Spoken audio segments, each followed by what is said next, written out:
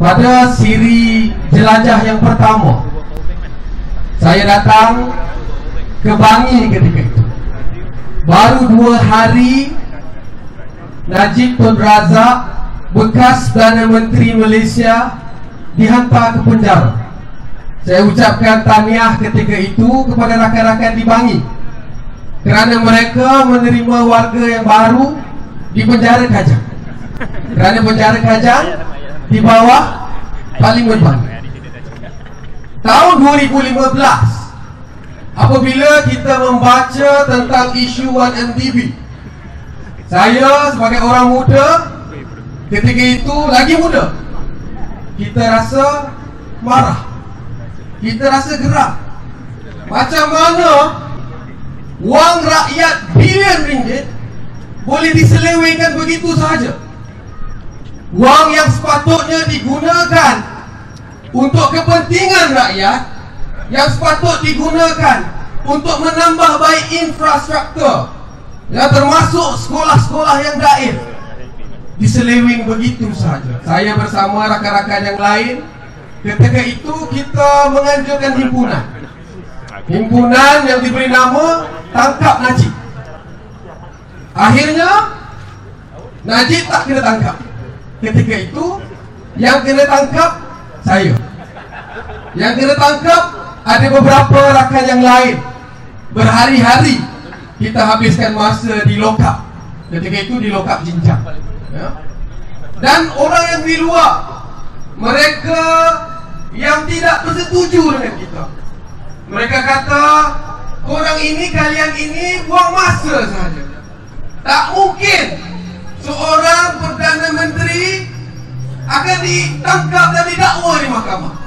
Minggu yang lalu saudara Najib Razak dihantar ke penjara kita ucapkan terima kasih kepada rakan-rakan yang mengundi dalam pilihan raya yang lalu.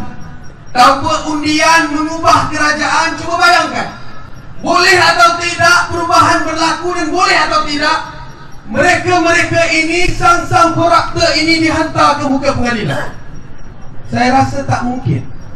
Tapi sebabkan rakyat Malaysia buat perubahan rakan-rakan di Selayang buat perubahan akhirnya mereka korakter-korakter ini dibawa ke muka pengadilan Najib Tun Razak dihantar ke penjara. Bukan Najib saja isteri beliau juga terlibat dengan dengan uh, rasuah dan, dan, dan dijatuhkan hukuman penjara.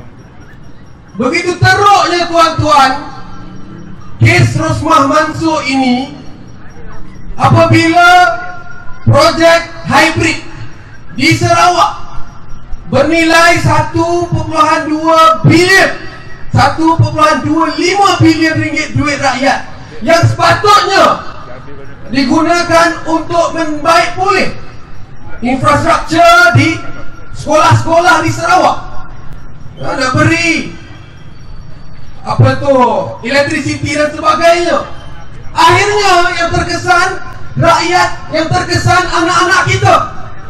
Betapa teruknya mereka ini wang yang sepatutnya digunakan untuk anak-anak ini diseleweng 200 juta hampir dibayar ke Rosman Mansur untuk berikan kepada Jepak Hobi.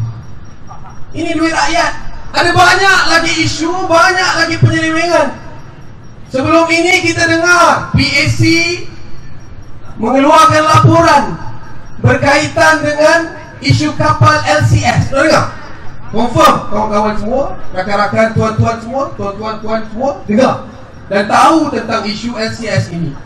6 bilion ringgit duit rakyat dibelanjakan untuk membina kapal yang sepatutnya menjadi aset ketenteraan. Sampailah ke hari ini kapal tarak kononnya lah waktu itu apabila PXC keluarkan dan rakan-rakan suarakan tentang isu LCS ini mereka pun bawa lah media pergi ke Lumut.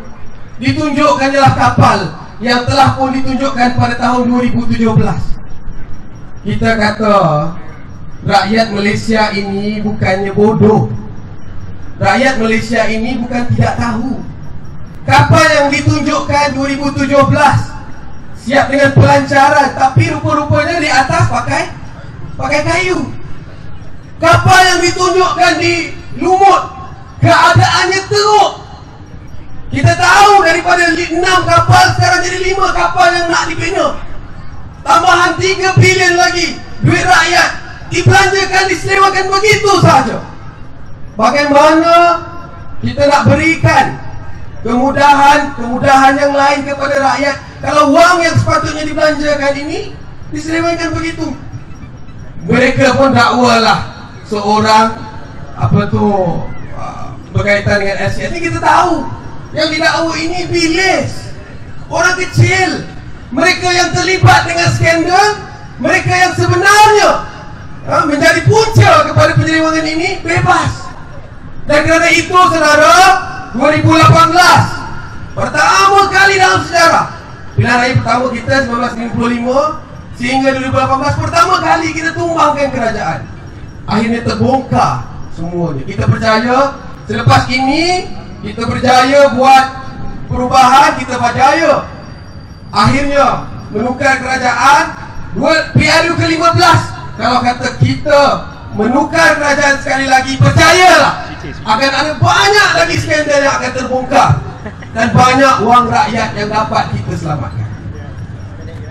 Isu kapal LCS ini kita pun anjurkan himpunan ketika itu kita kata mana kapal LCS. Akhirnya saya sendiri didakwa di mahkamah minggu berkaitan dengan himpunan. Ini yang terjadi. Rakyat yang bersuara, rakyat yang nak tahukan kebenaran, rakyat yang bertanya, didakwa, ditangkap, dilokap mereka yang terlibat mencuri duit rakyat ini dibiarkan. Kalau kita tidak buat perubahan pada PRU yang akan datang nescaya mereka-mereka ini koruptor-koruptor ini akan terus mencuri duit rakyat dan yang terkesan ini anak-anak kita. Macam-macam mereka cuba lakukan. Mahasiswa bersuara mereka mahu perketatkan output Kemudiannya kita semua tahu antara isu paling besar setiap kali nak pilihan raya apa? Isu perkauman. Kita ini dibeza-bezakan. Warna kulit kita dibeza-bezakan. Kita semua ini dipertembungkan. Sedangkan saya percaya warga Selayang ini tak ada masalah pun. Tak ada isu perkauman pun. Boleh hidup bersama dengan Melayu, Cina, India, Iban, Kadazan dan sebagainya Tak ada masalah. Tapi nak pilihan raya Muncul isu-isu begini. Ini benda yang mesti kita tukar. Kerana kita nak bawa negara kita ini ke hadapan Kita mesti fokus dan berbincang tentang isu dasar. Minggu lalu juga selepas saya didakwa di mahkamah Malamnya saya ke Johor Baru Bertemu dengan rakan-rakan saya katakan Dulu rakan-rakan daripada Indonesia bila mereka ada duit sikit ah, kita bila ada duit sikit kita akan pergi ke Indonesia berbelanja.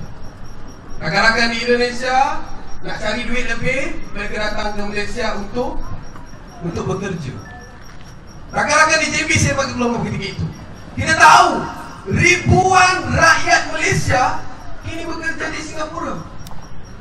Apa yang berlaku di kepada Indonesia dulu berlaku pada kita sekarang. Kerana kita tidak lagi membincangkan isu dasar bagaimana nak mengeluarkan negara daripada kemiskinan. Bagaimana kita nak memastikan anak-anak kita dapat pendidikan. Negara di Skandinavia mereka berikan pendidikan percuma kepada anak-anak mereka. Yang berkualiti bukan percuma saja. Orang luar boleh datang ke negara mereka dan belajar di sana secara percuma. Kita tidak boleh bincang isu-isu ini kerana akhirnya nak pilihan raya mulalah timbul isu bangsa ini dan bangsa itu, kaum ini dan kaum itu. Sebut saudara kita ni tak boleh pilih waktu kita nak lahir dulu. Ya, tak boleh pilih kita ni nak jadi Melayu ke Cina ke India ke Iban ke. Ada kawan-kawan yang boleh pilih. Kalau kita boleh pilih mungkin kita mungkin pilih yang lain kot. Mungkin Tanya saya Saya nak hmm, Waktu nak lahir dulu mungkin. Nak jadi Mak Saleh. Mungkin kan? Kita tak tahu. Tapi kita tidak boleh pilih. Di mana kita lahir kita tidak boleh pilih. Tetapi apabila kita lahir di sini Kita sayangkan negara ini. Apa pun bangsa mereka tanyalah pada rakan-rakan. Mereka ini rakyat Malaysia. Sayang pada Malaysia. Nak Malaysia ini maju dan kemajuan ini dapat disampaikan kepada semua. Bukan saja pada orang Melayu bukan saja pada orang Cina bukan saja pada orang India dan yang lain-lain.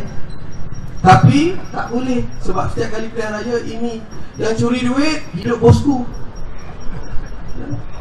Betul tidak Eh, boleh curi duit. Ada pula yang kata walaupun jelas bukti di mahkamah ni bukan macam sembang kedai kopi. Mahkamah ni dia sediakan bukti dibicarakan Hukuman berhujah. Dijatuhkan hukuman. Ada pula yang kata Saya lebih percaya Pada Najib Razak Sebab dia bersumpah. Eh Kalau bersumpah saja dah boleh. Tak payah ada mahkamah lah. Kita bersumpah aja lah. Betul tak? Tapi Ini benda yang kita nak kena ubah. Kawan-kawan sekarang ini internet Di hujung tangan. Kita boleh baca judgement yang dikeluarkan oleh mahkamah tentang kes SRC International tentang kes uh, uh, projek solar di Sarawak yang melibatkan Rosmah jelas! Bukan kata kita buat-buat cerita. Bukan hakim kata tengok uh, bagi jelas dia salah. Tidak! Uh, tak boleh begitu. Dan kita mesti lawan dan kita mesti bersama dengan rakan-rakan yang lain. Disebut oleh rakan kita tadi mesti keluar mengundi pada PRU ke-15 pastikan kita buat perubahan dan pastikan mereka sang koruptor ini tumbang dalam PRU ke-15 akan datang boleh? Saya ucapkan um, ribuan terima kasih dan tanya kepada rakan-rakan yang hadir Pakcik-pakcik, makcik-makcik Tolong minta ya, anak-anak semua keluar mengundi pada PRU ke-15 Dan insyaAllah sekali lagi kita akan buat perubahan dan sekali lagi kita akan buat apa yang berlaku pada pihak Ruli ke-14 dulu akan berlaku lagi mereka yang terlibat dengan kes-kes ini di bawah muka pengadilan. Wassalamualaikum warahmatullahi taala wabarakatuh dan salam sejahtera.